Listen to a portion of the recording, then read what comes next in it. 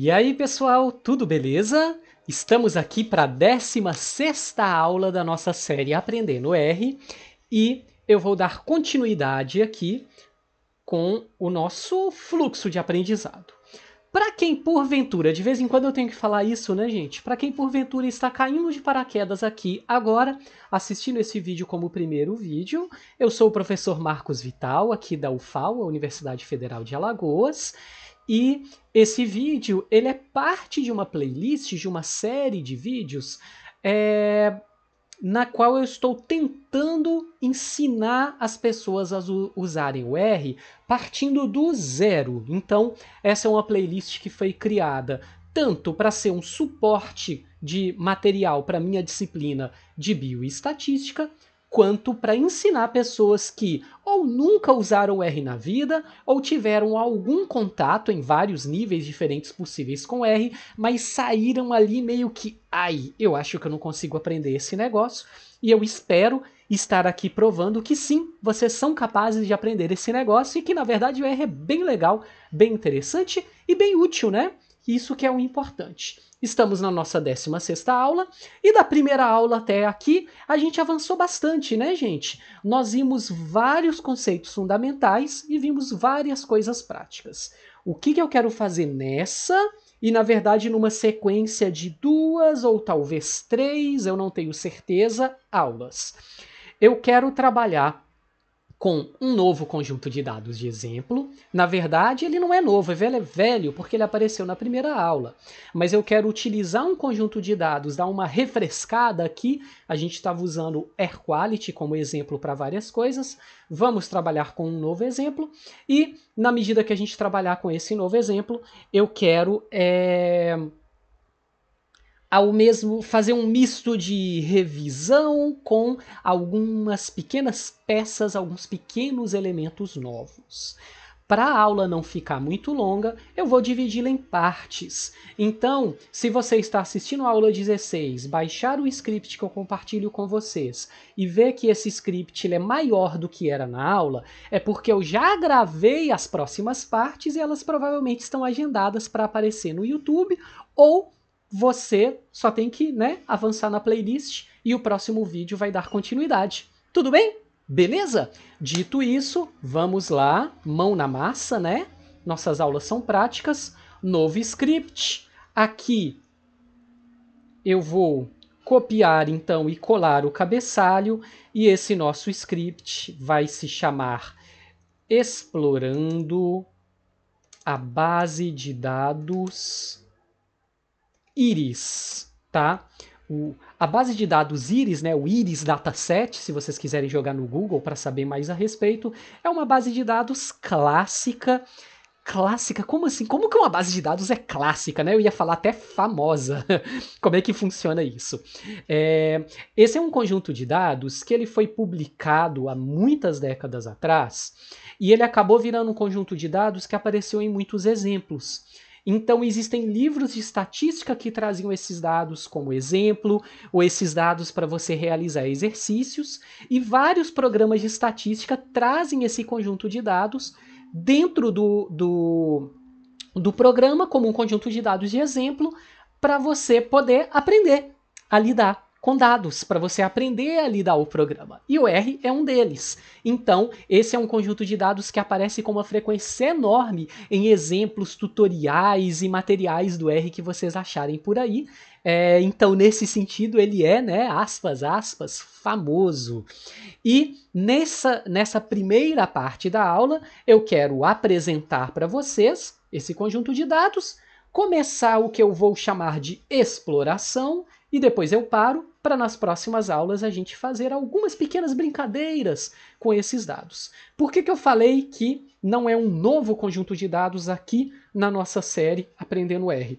Porque na primeira aula, na primeiríssima aula, que eu falei, gente, não tentem seguir os procedimentos, só sintam o que eu estou fazendo, só assistam. Eu usei os dados íris para criar um boxplot. Então a gente vai poder recriar aquele boxplot conforme prometido. Eu não esqueci, não.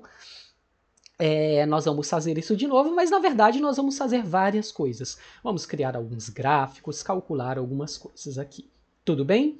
Então vocês vão lá começar então Opa, carregando os dados de exemplo. Ei, Marcos, você já falou algumas vezes que em breve a gente vai aprender a ler um arquivo com dados próprio, né? Sim, a gente está chegando lá. Essa aula aqui, inclusive hoje, ela é meio que um divisor de águas, né? A gente avançou, aprendeu várias coisas no R, vamos praticar várias coisas, aprender algumas novas, mas depois a gente avança.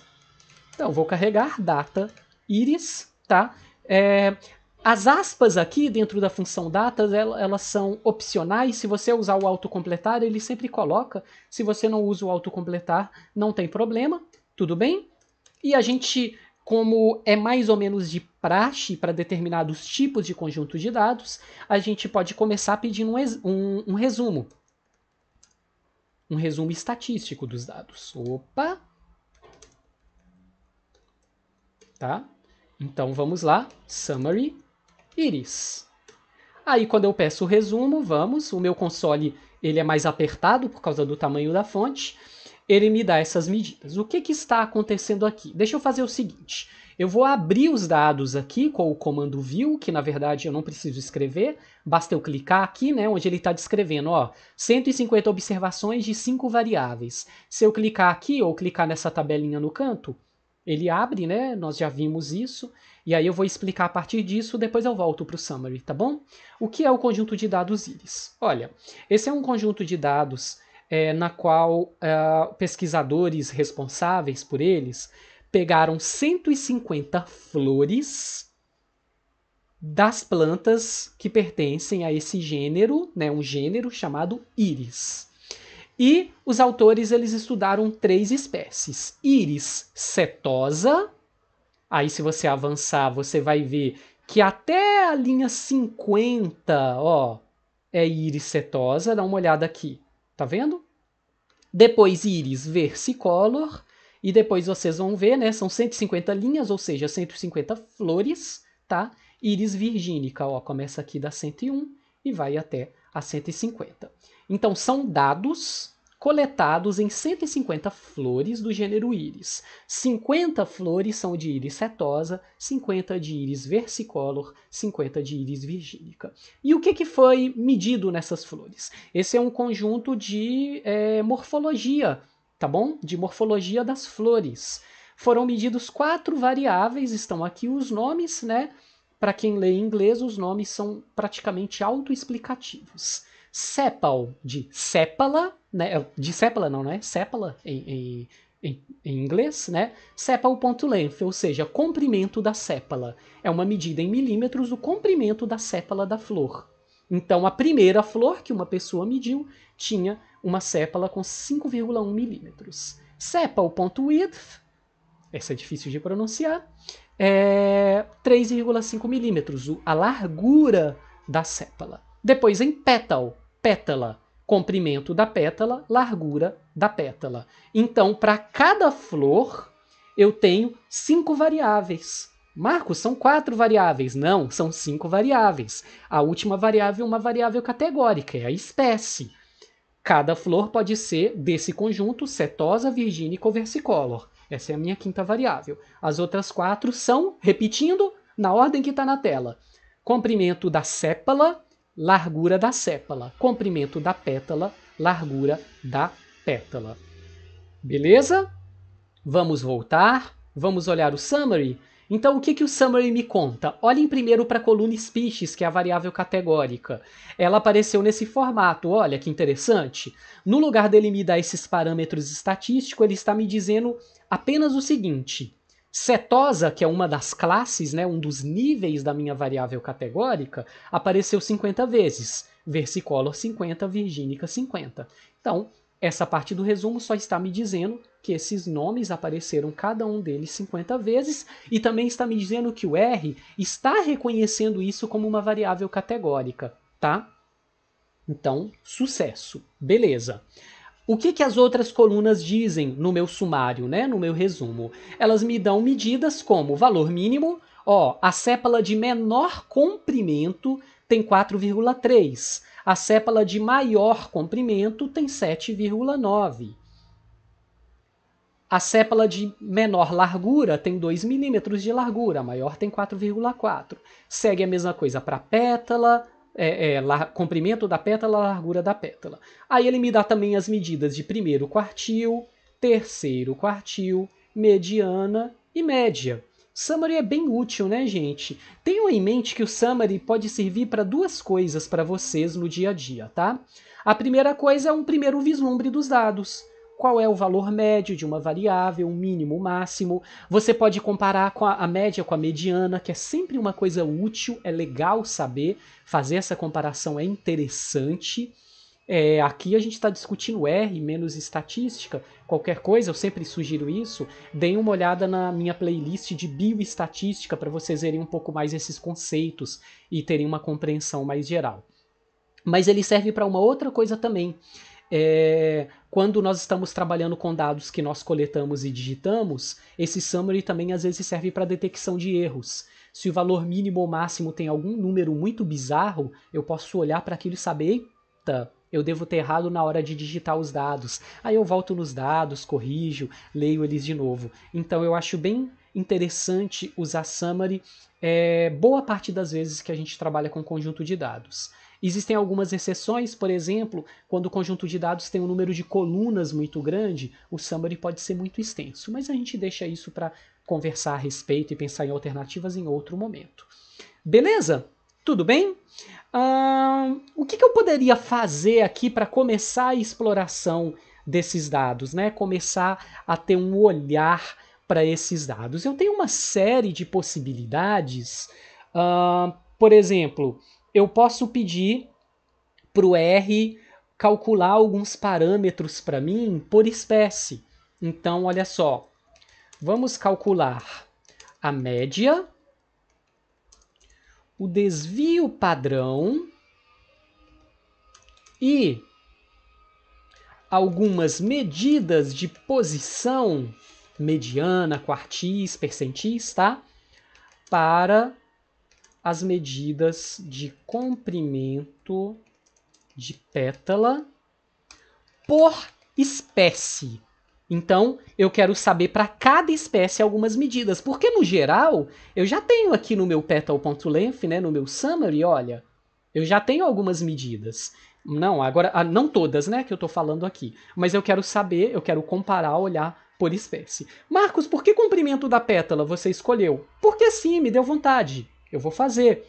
Sugestão: vocês estão avançando no R, assistiram todas as aulas, chegaram até aqui, terminou essa aula, vai lá e faz para largura da pétala, comprimento da sépala, largura da sépala, para exercitar. É legal, você vai treinar, você provavelmente vai conseguir vai se sentir bem, isso vai te ajudar a aprender. Se você não conseguir, respira fundo, volta atrás, sei lá, qualquer coisa, manda um comentário aqui no canal e eu posso tentar te ajudar. Cola lá, ó, oh, eu fiz esse comando e apareceu esse erro. E aí a gente consegue avançar, mas também não se estresse, porque quanto mais você usar o R, mais você vai ter a chance de aprender e no caminho é natural que você esbarre com mensagens de erro e pequenas dificuldades. A gente aprende a superá-las, tá?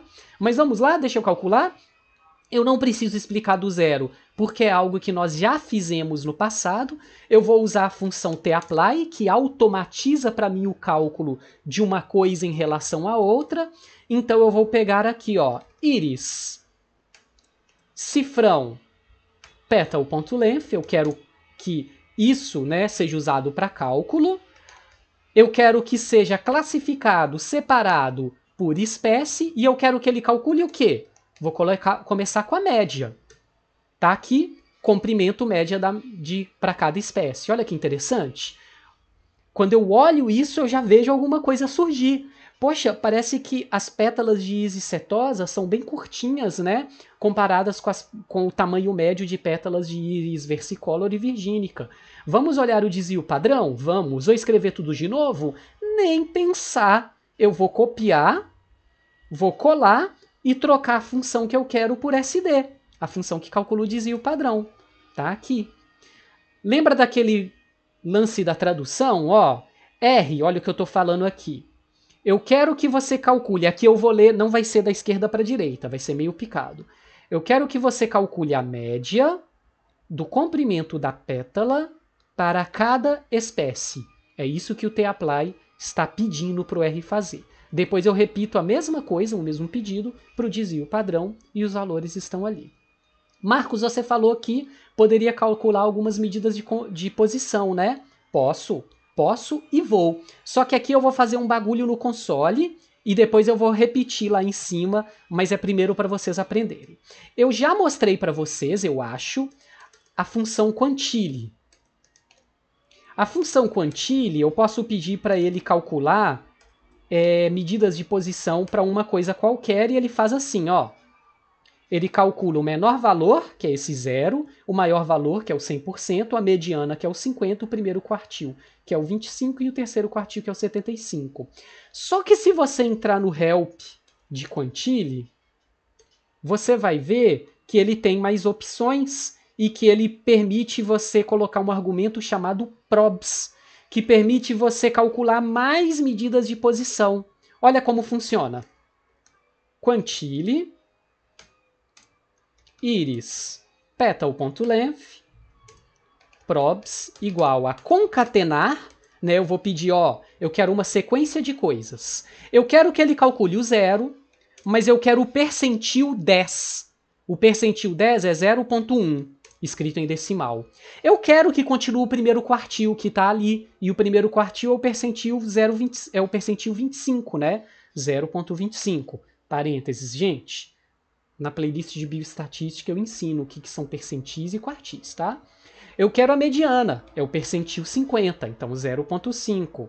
Eu quero também o terceiro quartil, que é o percentil 0,75 que é o percentil 75, é 0,75 é decimal. Eu quero o percentil 90, 0,9 e quero o valor máximo. Olha que legal? Olha o que ele fez. Viram que bacana? Como que eu faço isso? Eu posso jogar isso no tapply? A mágica do tapply é que sim, o tapply aceita passar argumento para a função que você está chamando dentro dele. Então olha que legal, gente tapply. Opa, eu aqui abri o snippet sem querer, mas tudo bem. Iris, cifrão petal.length, iris, cifrão species, quantile. Aí eu tô colando, porque eu já escrevi ali embaixo, eu não vou escrever de novo. O argumento probs. Olha que massa. Ele calculou tudo isso para as três espécies. Isso daqui é um diagnóstico super legal, né? para você olhar e comparar as três espécies, mesmo sem saber, por exemplo, se média e desvio padrão seria uma boa descrição para esses dados. Porque existem alguns riscos, né, algumas coisas aí envolvidas no cálculo da média e do desvio sem você avaliar os dados primeiro. Aqui, ó, olha que legal. Eu tenho as medidas de posição e eu posso comparar à vontade. Meu objetivo aqui é ensinar o procedimento no R. A gente não vai ficar parando para interpretar muito, mas veja que você pode de novo fazer aquelas comparações de tamanho. Olha que interessante, a flor que tem a maior comprimento de pétala em íris setosa, ela tem 1,9 de, é, milímetros de comprimento. A menor de versicolor tem 3. Olha que legal, elas são muito separadas, né? A menor de Virginia é 4,5. Agora, versicolor e virgínica tem alguma sobreposição, ó. A maior de virgínica é 5.10, enquanto não, de versicolor, enquanto a menor de virgínica é 4.5. Então vamos voltar no boxplot.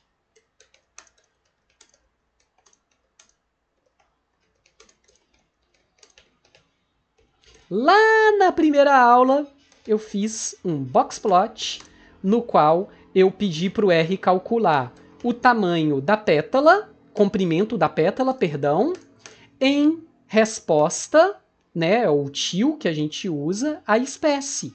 A gente já aprendeu a fazer isso agora, né? Isso já não é mais novidade para vocês. E aí esse box plot, ele acompanha muito bem essas medidas de posição. Olha que barato, gente. As diferenças de tamanho, de comprimento de pétalas entre as três espécies de íris. Olha que legal. Bacana, né? eu vou melhorar esse gráfico, vou colocar o las igual a 1 para os números ficarem na horizontal e vou editar os nomes dos eixos. xlab igual a espécie ylab igual a comprimento, comprimento da pétala.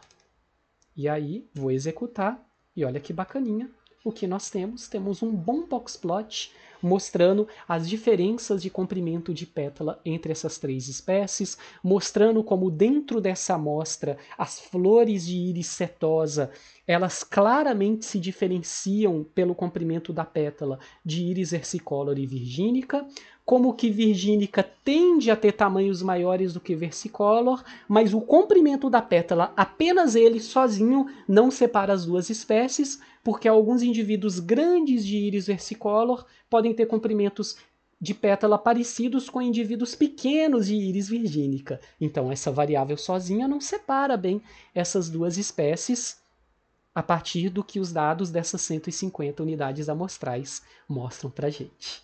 Legal? Beleza? Gente, se vocês estão achando que eu estou indo rápido, qualquer coisa parem, voltem, reassistam aulas anteriores, porque o momento aqui é um momento da gente fazer coisas que, de uma forma geral, não são mais novidade. Mas é legal vocês seguirem o próprio ritmo, vocês sentirem que vocês estão conseguindo acompanhar, vocês treinarem a tradução, por exemplo. Aqui eu estou dizendo para o R: R, faça um box plot do tamanho da pétala em relação à espécie. Eu quero que todos os números fiquem na horizontal nos meus eixos. Eu quero que o eixo horizontal tenha escrito espécie e o eixo vertical escrito comprimento da pétala. Então, estou dizendo essas coisas para o R. Treinar essas traduções, olhar o que está escrito, entender o que, que a gente está pedindo para o R é algo bem importante no processo de aprendizagem. Eu vou anotar aqui fim da parte 1 eu vou encerrar essa primeira parte da aula. Eu falei que eu não quero que fique muito longo, né? Eu falei que são passos pequenos nessa nossa playlist e é essa a ideia. Então eu vou encerrar por aqui e na próxima aula a gente continua. Se a gente vai seguir mais duas, uma, duas, três aulas nisso, eu ainda não tenho certeza. Eu deixo o meu feeling é, decidir isso na medida que eu estiver gravando, na medida que a gente estiver avançando. Tudo bem? Beleza? Então é isso, pessoal. Vamos seguindo, continuem a me acompanhar. Na próxima aula a gente vai explorar um pouco mais os dados das florezinhas íris. Tá joia? Abraço, pessoal, e até a próxima aula. Valeu!